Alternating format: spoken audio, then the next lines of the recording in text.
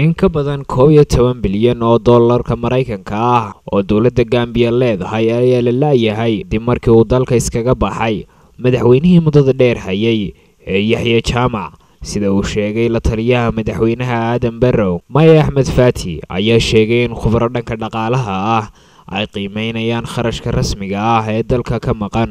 Gawaadhida raaxada iyo alaabo kale oo xamuula ayaa la saaray diyaaradaha xamuulka ah ee dalkaasi jaad ay leeyihiin isla habeenkii uu waddankaasi ka baxay yaxye jaamac yaxye jaamac ayaa dalkaasi iskaga tegay sabtidii isaga oo afjaray labiyo labaatan sanno oo uu xilka u hayay waddankaasi gambiya laakiin wuxuu dalka kaga baxay. Wadaxaajooyin ay sameeyeen madaxda dalalka gobolkaasi iyo hanjabaado ku aadan inay milatarigoodu geli doonaan dalkaasi. Madaxweyne barrow ayaa haatan ku sugan dalka ay jeer ka yihiin waddanka gambiya ee senegal lamana cadaynin wakhtiga uu ku soo laaban doono waddankiisaasi gambiya. Si kastaba ha ahaatee ciidamada galbeedka afrika ayaa galay magaalada caasimadda oo ah waddanka gambiya ee lagu magacaabo banjul. Maalintii sabtida ahayd si ay u diyaariyaan imaanshaha aadame barrow. Dad damaashaadaya oo isku urursaday bannaanka madaxtooyada waddanka gambiya ayaa soo dhoweeyey ciidamadii halkaasi galay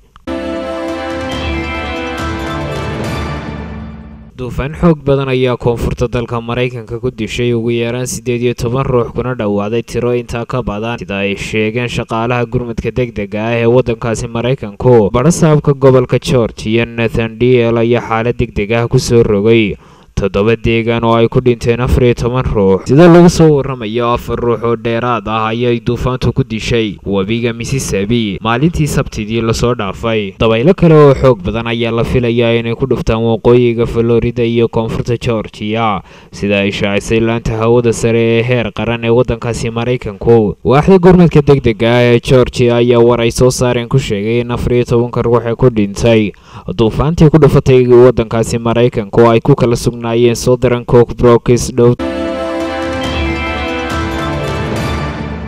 maamulka israel ayaa fasaxay in shan boqol iyo lixdan guri oo cusub laga dhiso dhulka ay xooga kaga haystaan falastiin ee ku yaalla bariga magaalada qudus go'aankan ayaa imanaya laba maalmood kadib markii donald trump uu la wareegay xilka madaxweynenimo ee waddankaasi maraykanka. Go'aankan lagu fasaxay dhismayaasha cusub ayaa dib loo dhigay kadib markii uu ra'iisul wasaaraha waddankaasi israel benjamin netanyahu dalbaday in la hakiyo dhismayaashaasi dalabkaasina waxa uu daba socday go'aan golaha amniga ee qaramada midoobay uu gaadhay kaasi oo lagu cambaaraynayay israa'il iyo weliba deegaamaynteeda. Qaraarka u n ay ku joojisay dhismayaashaasi dhan shan boqol iyo lixdanka guri ayaa la soo saaray maalmihii ugu dambeeyey ee maamulka obama. Guryaha ay israa'il ka dhisayso dhulka ay falastiin ka haysato ayaa qaramada midoobay ay u arkaan inay tahay sharci darro. Ku-xigeenka duqa israa'il ee u qaabilsan magaalada qudus miir turjamen ayaa sheegay in hadda ay isbedeleen qaababka loo dejiyo shuruucda waxaana la faafiyey in benjamin netanyahu uu dagaalka israa'il iyo falastiin u dhexeeya la kaashado. Madaxweynaha cusub ee waddankaasi maraykanka donald trump labadani shakhsi ayaa ku wada hadli doona khadka telefoonka balse shacabka waddankaasi falastiin ayaa rajaynayay in bariga magaaladaasi qudus ay noqoto caasimadooda mustaqbalka.